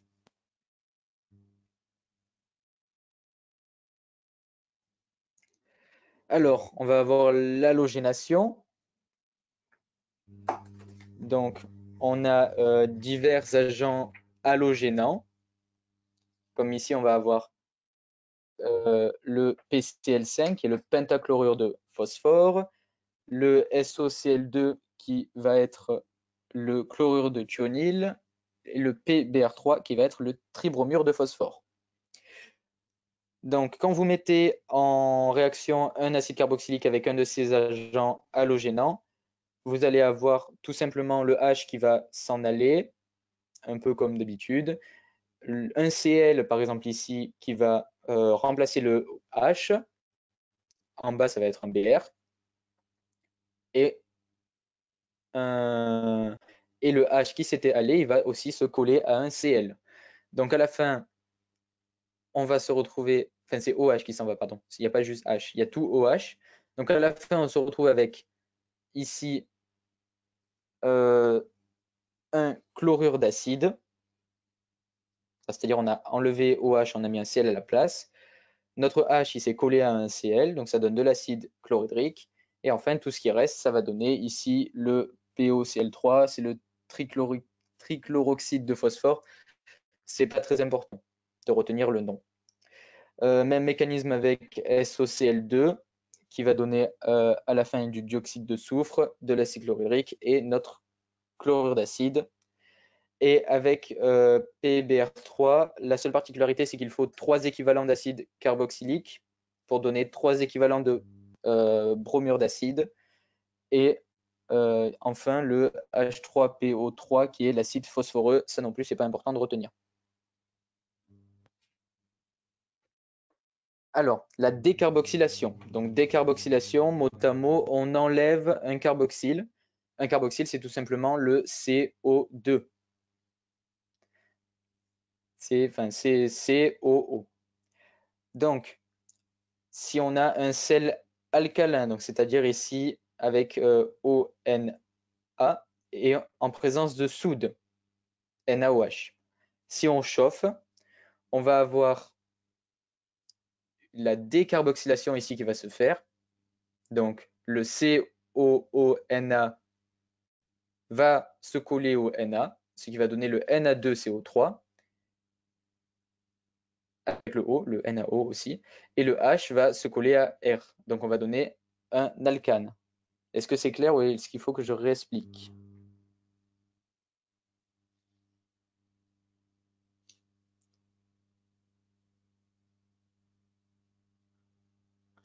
Alors, je vais réexpliquer. Donc, on va avoir notre sel alcalin ici en présence de soude, NaOH, et de chauffage, toujours le delta. Euh, toute cette partie ici, avec le COONA, il va être attiré par le NaO, ce qui va donner du Na2, il y a deux Na, C, celui-là, et O3, avec les trois O. Et enfin, comme le R, il lui manque une liaison, eh bien, le H qui va rester va se mettre à la place ici de toute cette partie. Donc à la fin, on va avoir un RH, et toute cette partie va se coller à NaO, ça va donner du Na2CO3. C'est bon, c'est mieux? Ok. Donc ça, c'était le procédé thermique quand on chauffe. Maintenant, on va passer au procédé électrolytique, c'est-à-dire la réaction de Kolb. Donc, deux équivalents ici de, euh, de, RCOONA en présence d'une anode. Donc, c'est pour ça que c'est électrolytique, c'est parce que on utilise une anode. Donc notre, notre sel alcalin en présence d'anode va conduire à une décarboxylation, c'est-à-dire on enlève COO, ça va donner du CO2. Donc comme on avait deux équivalents, on va avoir deux CO2. Euh, les Na vont donner autre chose, c'est pas très important. Et les deux R vont se coller entre eux, ce qui va donner RR donc un alcane symétrique. Ça, c'est la réaction de Kolb. Donc, c'est très important d'apprendre les, noms, surtout les noms propres. Parce que euh, là, par exemple, on peut très bien vous dire euh, le procédé électrolytique, c'est la réaction de Cannizzaro. Pas du tout. La réaction de Cannizzaro, c'était tout à l'heure pour les, cétones non nolisables. Donc, il faut bien euh, retenir les noms propres et savoir à quelle réaction correspond quel nom propre. Ensuite, encore un autre moyen de faire une décarboxylation, on va avoir la réaction Duns-Dicker. Euh, donc, en présence de dibrome en chauffant. Ici, c'est quand on a un sel d'argent. On va avoir toujours notre décarboxylation, donc le CO2 va partir, il va se retrouver ici. Le Ag+, va se retrouver avec le Br-, puisque Br2, ça va faire Br-, Br-. Donc Ag+, Br-, on va le retrouver sur AgBr. Et enfin, le R va prendre le Br qui reste, donc ça va donner RBr, un bromoalcane. Alors ici, on réexplique en expliquant que c'est un mécanisme radicalaire. Donc c'est que dans un premier temps, on va inverser AG et un des BR pour donner AGBR. Donc le AGBR, il est là. Ensuite, euh, notre OBR, ça va encore plus polariser la liaison que tout à l'heure. Donc le BR va se détacher. Le CO2 va euh, encore plus ici, là, va encore plus polariser la, liaison RC, ce qui va encore plus les séparer, les deux atomes, ce qui fait que CO2 va se retrouver tout seul, R va se retrouver tout seul, BR va se retrouver tout seul, et donc R et BR se rejoignent, et CO2, il est, bah, il est bien comme il est. Donc c'est pour ça qu'on a RBR, AGBR, CO2. C'est clair la réaction de Dunsdicker ou pas?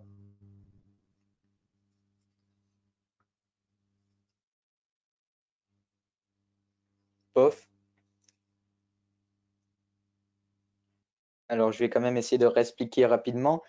Première étape, on va avoir une inversion entre AG et BR, puisque notre AG ici, il va être plus attiré par un des deux BR que le O. Donc, il a euh, qu'une envie, c'est de se jeter sur un BR.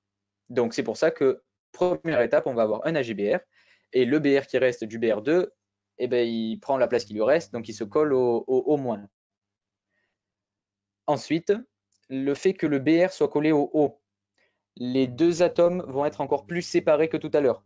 Donc ça veut dire que le BR, comme il est très très séparé du O, il va se retrouver tout seul. Ici, le O, donc, comme le BR est tout seul, ben, le O, il se retrouve tout seul aussi. Sauf que lui, ça lui plaît pas parce qu'il a qu'une seule liaison sur les deux qu'il a envie de faire. Donc, ce qu'il va faire, c'est qu'il va encore plus attirer l'électron de cette liaison-là. Et en fait, il va voler la liaison entre le RC pour faire une double liaison O. C'est pour ça qu'on va avoir un CO2, puisque CO2, je rappelle, c'est C double liaison O, double liaison O, puisque le O, il a volé la liaison entre RC. Donc, on a le CO2 qui est bien dans son coin. On rappelle qu'on a le BR qui est tout seul, et cette fois-ci, on a le R qui se retrouve tout seul, donc BR et R vont se rejoindre. Ça va donner RBR, un bromoalcane. C'est mieux? Super. Alors maintenant, on va passer aux réactions de réduction. Donc, réducteur par excellence, je rappelle, ALLIH4. OK, quand on voit ALLIH4, c'est une réduction. On prend un acide, on le réduit, donc ALLIH4 et dans un second temps de l'eau, H2O. Donc je rappelle que réduire, c'est soit rajouter des H, soit euh, carrément enlever des O. Donc ici, on ne peut pas rajouter des H, sinon ça fait quelque chose qui, est, qui ne va pas, puisque si jamais on rajoute un H ici, le O, il a ces deux liaisons, mais celui-là, il, va lui manquer une liaison.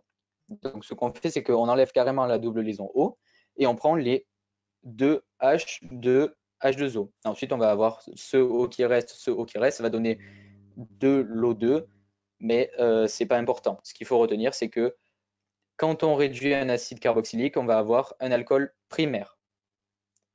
Toujours un alcool primaire.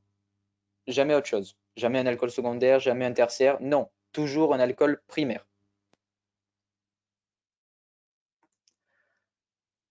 Alors, on va passer aux dérivés, c'est-à-dire tout ce qui ressemble à un acide carboxylique, mais qui n'est pas vraiment un acide carboxylique. Avant ça, il n'y a pas de questions sur euh, ce qu'on vient de voir?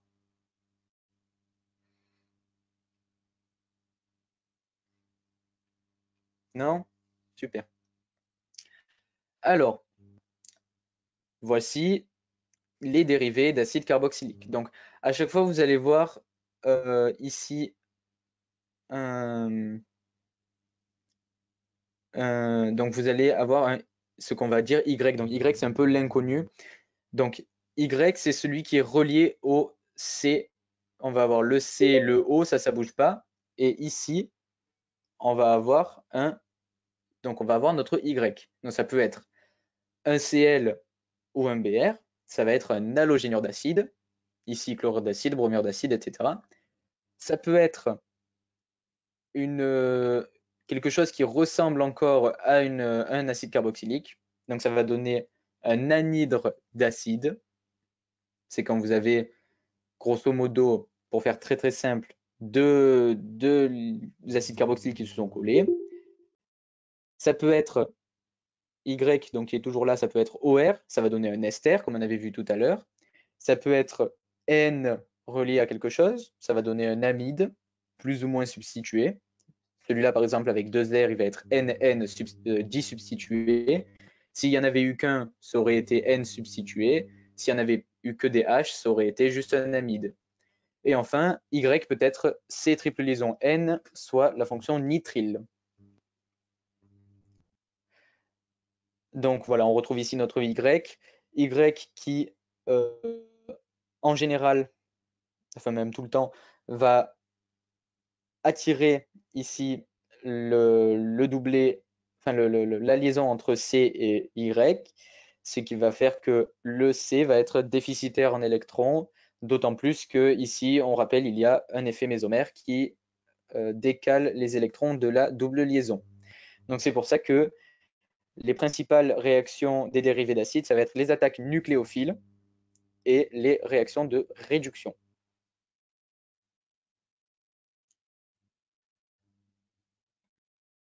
Donc voilà, on a un effet plus M ici et moins I là.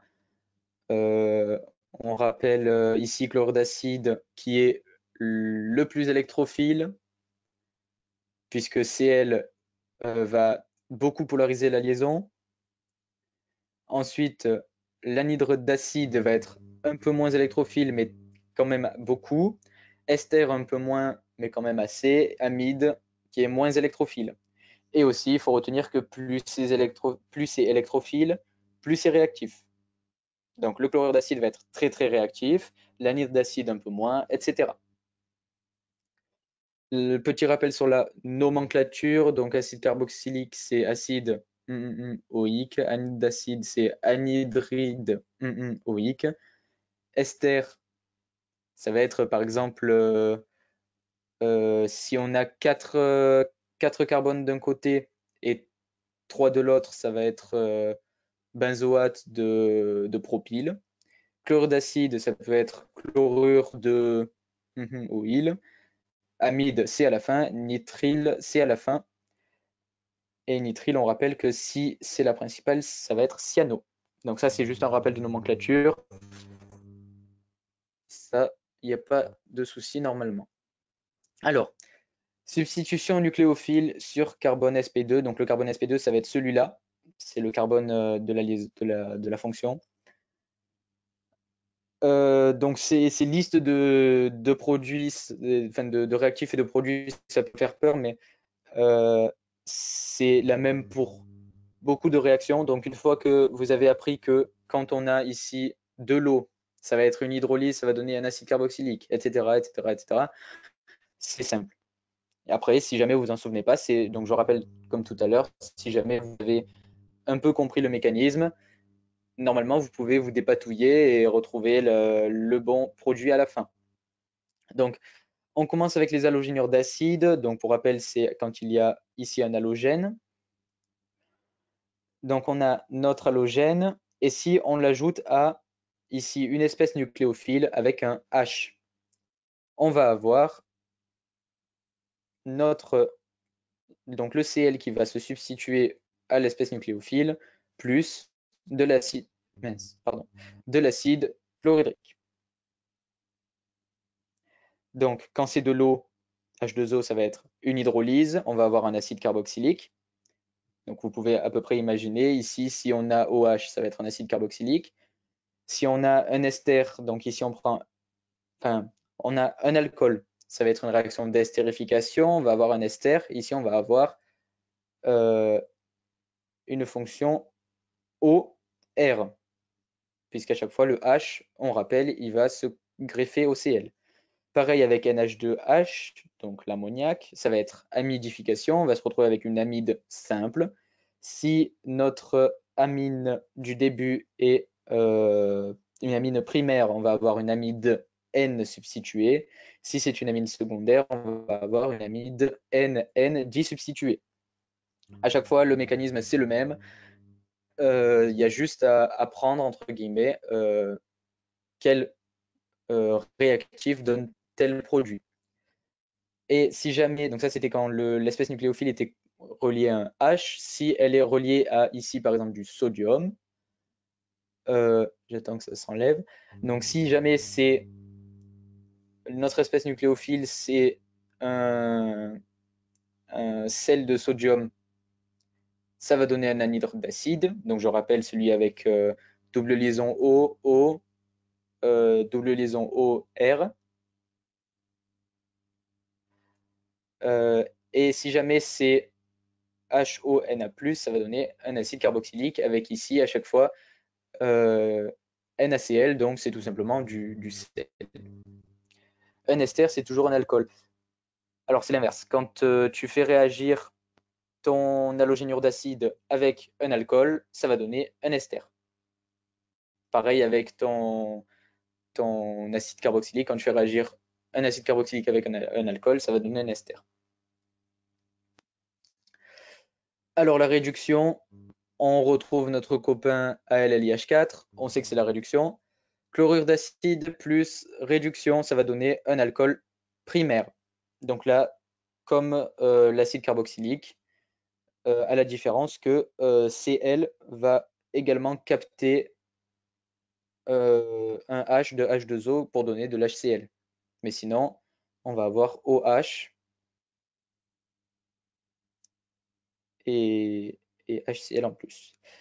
Réduction avec H2 euh, et du, ici du palladium désactivé. On va avoir la réduction en aldéhyde, c'est-à-dire on va juste réduire ici le chlore en hydrogène. Et ça, c'est la réduction de Rosenmund.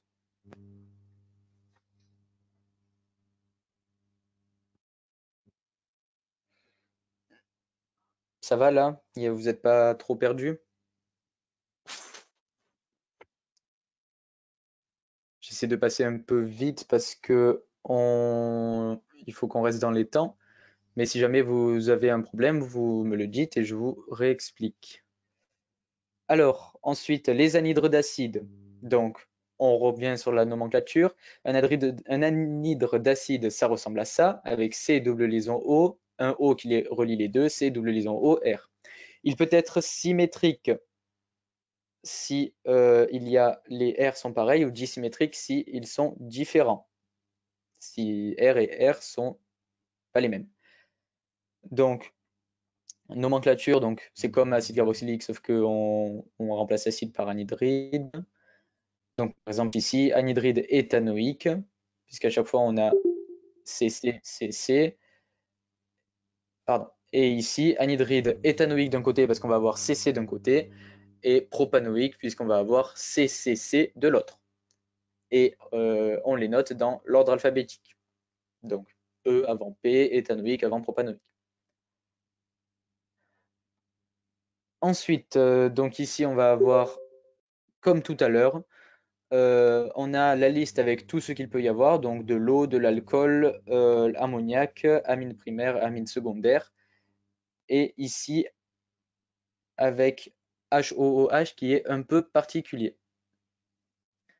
Donc, vous avez ici votre euh, pardon, votre anhydre acide plus votre espèce nucléophile reliée à H. Ce qui va se passer, c'est que, en gros, ça va couper la molécule en deux. D'un côté, du O. D'un côté, par exemple, on va dire que celui d'en haut va garder le O et il va choper le H qui est ici. Et celui d'en bas, il va attraper le NU qui reste. Donc c'est pour ça qu'on a un NU et un acide carboxylique.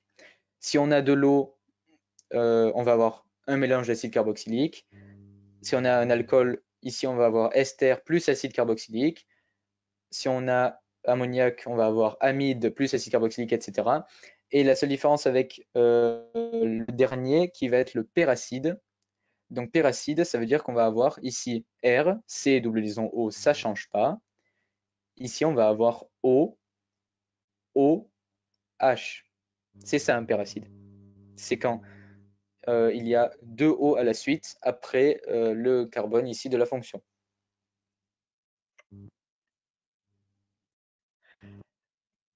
Euh, réduction d'un anhydracide, c'est pareil. On va, pardon, on va le couper en deux. Il y en a un qui va garder le O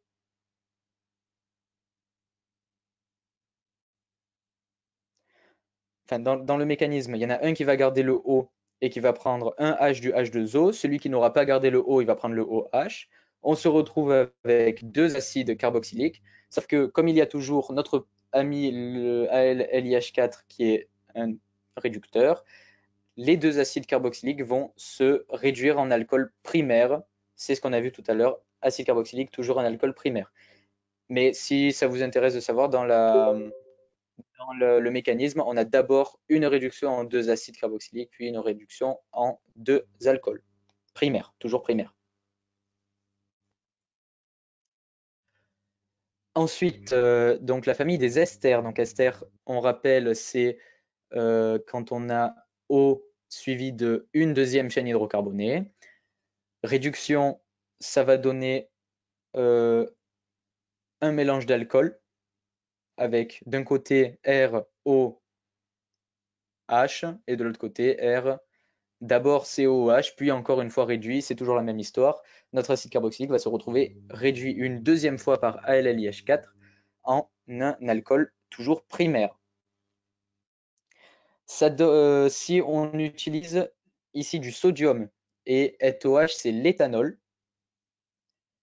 en chauffant, ça va donner ce qu'on appelle la réaction de Bouveau-Blanc et ça va donner également les mêmes produits, donc ici un mélange d'alcool, mais cette réaction de Bouveau-Blanc ne peut se faire qu'avec des esters.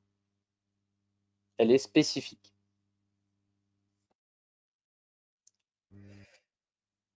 Euh, toujours pareil, réaction de substitution nucléophile.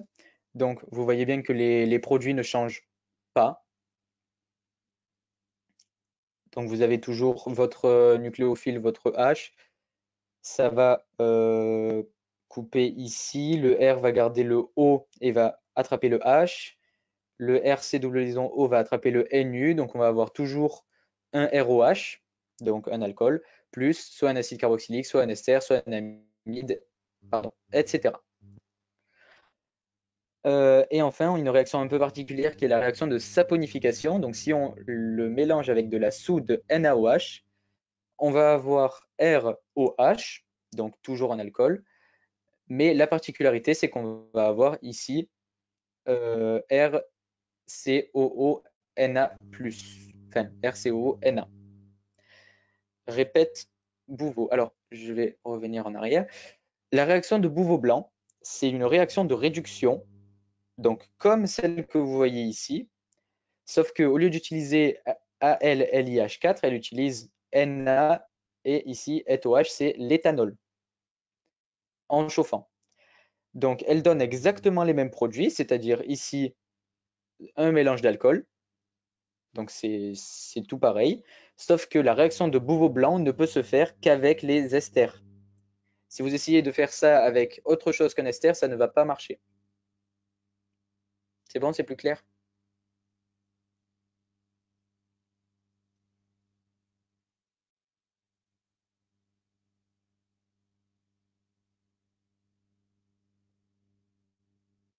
Passer à la suite. Oui, on était là. Donc, quand on a toujours notre, euh, ester, on a un, un, carbone alpha. Donc, on rappelle ici, il y a le, ici la double liaison O, ici O et la chaîne hydrocarbonée qui suit l'ester. Ici, on a notre carbone alpha, c'est de la même histoire que tout à l'heure. Le premier, c'est alpha, le deuxième, c'est bêta, etc. Si il possède, ce qui n'est pas toujours le cas, mais si il possède un H mobile, on va pouvoir, en utilisant ce qu'on a euh, donc le LDA qui est le lithium diisopropyl euh, amidum.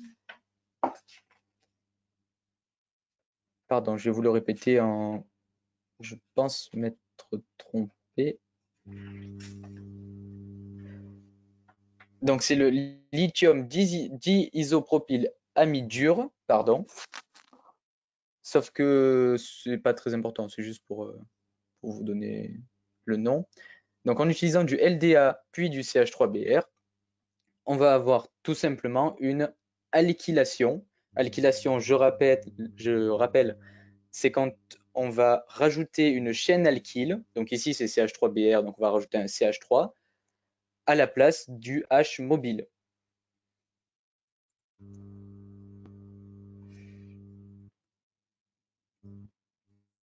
Les amides, donc amides, ils peuvent être simples, N substitué, NN dit substitué. Euh, donc, on vous dit que la liaison amide, elle est importante car c'est la liaison peptidique. La liaison peptidique, c'est quand vous, donc un peptide, c'est quand vous avez l'enchaînement des acides aminés qui va, former une protéine. Un acide aminé, c'est quand vous avez tout simplement des fonctions amides. Euh, alors, je reviens juste sur une question, ça fait plus HBR. Euh, oui, tout à fait. Bon, les, produits comme ça qui nous intéressent pas vraiment, on sait pas toujours qu'on les note. C'est vrai que c'est important de les, si on veut comprendre le mécanisme, de savoir que ce H là, du coup, il s'en va, il va se coller au BR. Mais c'est c'est pas comme c'est pas HBR qui nous intéresse ici, on va pas vraiment préciser. Mais c'est vrai que c'est important de comprendre. Alors, je reviens ici. Euh, donc, la liaison amide est importante car c'est la liaison peptidique, celle des protéines. Euh, donc, première réaction, la substitution nucléophile, qui va donc avec, par exemple, une molécule d'eau, on va substituer ici le OH au NH2. On a un H qui traîne qui va se coller au NH2, ça va donner de l'ammoniac. Et à savoir aussi que euh, quand on a un acide carboxylique plus de l'ammoniac, ça peut donner ici euh, un ammonium quaternaire qui traîne, qui a récupéré le H ici, qui je rappelle est très mobile. Mais les, deux molécules, vous voyez, sont assez liées. Quand on a moins et plus, c'est que elles sont elles sont pas vraiment ensemble, mais elles sont pas loin l'une de l'autre. On va avoir ce qu'on va appeler la catalyse acide ou la catalyse basique. Alors, si jamais vous mettez cette molécule qui est donc avec l'ammonium quaternaire en présence de soude, donc un milieu basique, vous allez avoir tout simplement euh, le Na+, qui va préférer le O, donc il va se coller sur le O à la place du NH4+, et le NH4 va se coller à OH. Et en milieu acide, euh, c'est pareil, sauf que comme on n'a plus NaOH, on a HCl. On va retourner avec un acide carboxylique ici et NH4Cl.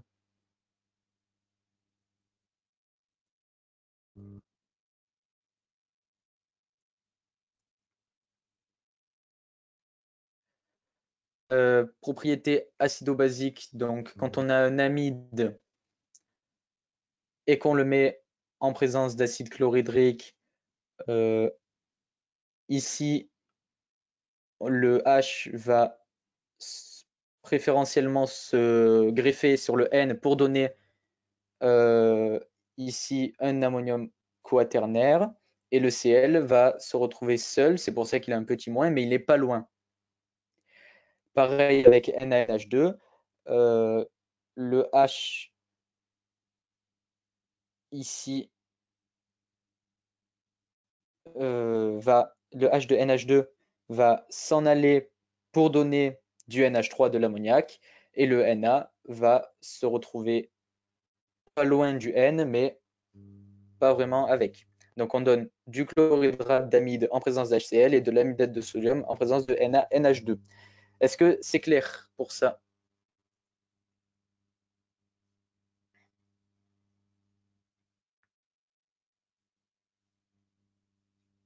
Oui Alors, on va passer aux, réductions. Euh, donc réduction, c'est assez simple, tout simplement dans le sens où quand c'est une amide simple, qu'on réduit toujours avec ALLIH4, ça va donner un amide primaire. Quand c'est un amide N, substitué, ça va donner un amine secondaire. Quand c'est un amide NN dit substitué, ça va donner un amine tertiaire. Là, il n'y a pas vraiment de, surprise. Vous pouvez même le, voir à partir des, molécules de base. Ici, la réduction, on va enlever la double liaison O. Donc, vous voyez que si on enlève la double liaison O, on se retrouve avec ici juste N ici la, chaîne R est 2H. Ici, on a deux fois la chaîne R plus un H. Et ici, on a trois fois la chaîne R.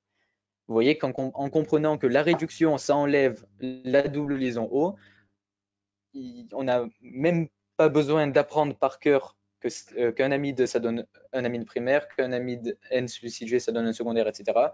Pour comprendre que quand on enlève la double liaison O, on a tout simplement euh, ici la chaîne qui reste et on a le reste de l'amine. Enfin, on va avoir la décarboxylation. On a notre amide, on a NaOBr. Donc, ce qui va se passer, c'est que euh, dans un premier temps, on va avoir le ONA qui va venir ici, à la place du NH2. Et on va avoir le NH2 qui va, pour l'instant, se confondre pardon, se coller au BR. Donc, pour l'instant, on se retrouve avec un RCOO-NA. Le NA va se coller au BR. On va avoir COO avec ici un O-. Le O- va vouloir récupérer la double liaison, la, pardon, la liaison simple RC, ce qui va conduire à une séparation de, de CO2. Donc on va avoir notre CO2. Puis enfin, on va avoir le Na et le Br qui vont se coller ensemble et le NH2 qui va se coller à R pour donner une amine primaire. Cette réaction de décarboxylation, on l'appelle la dégradation de Hoffman.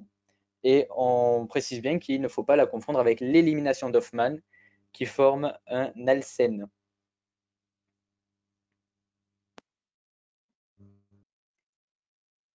Dernière famille, les nitriles. Donc les nitriles, on a une triple liaison CN qui va euh, souvent se transformer en double liaison avec un mauvais entre guillemets partage d'électrons, ce qui va donner que les, deux atomes ici seront très réactifs. On peut faire une hydratation, donc on rajoute une molécule d'H2O en milieu basique, c'est pour ça que vous voyez OH. Donc, c'est tout simple, le N va capter les deux H pour donner un NH2, le C va capter le O pour donner un CO, on va avoir un amide. Là, il n'y a pas de difficulté normalement. Si c'est en milieu basique, euh, en milieu acide, pardon.